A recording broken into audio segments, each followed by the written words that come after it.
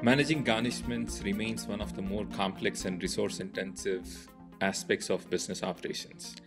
The latest trends focus in four key areas. Um, first, student loan garnishments have decreased significantly post COVID, largely due to federal changes in uh, repayment policies.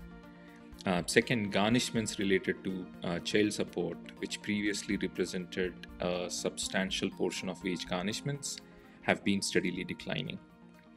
Um, another factor is uh, consumer credit consumption and credit defaults are going up, leading to increase in um, creditor garnishments.